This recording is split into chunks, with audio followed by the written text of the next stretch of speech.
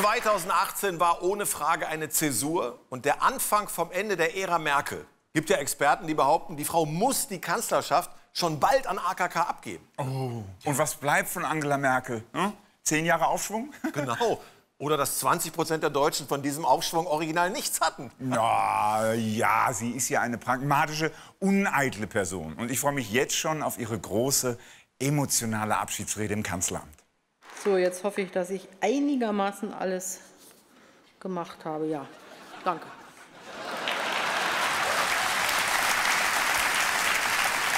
Ja, Ja, so stelle ich es mir vor. wird super. Tränenreich.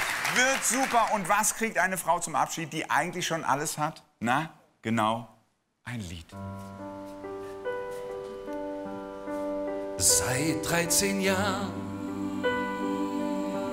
warst du immer da, hast für unser Land so viel nicht getan. Die Schulen sind schlecht und die Brücken erst recht.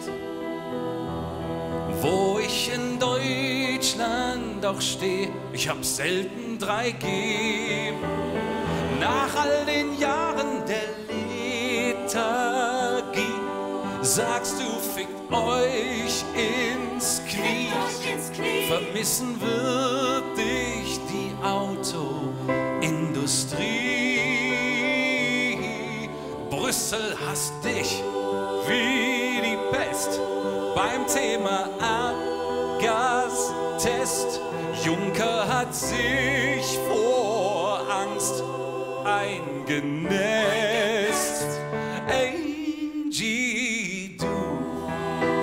Hast nichts mehr zu verlieren. Du kannst jetzt mal regieren, denn unsere nächste Wahl, ah, die ist für dich doch komplett egal. Hau doch Kohle raus im Wahn für arme Kinder und die Bahn. Dann kannst du mit dem Zug in die Uckermark fahren.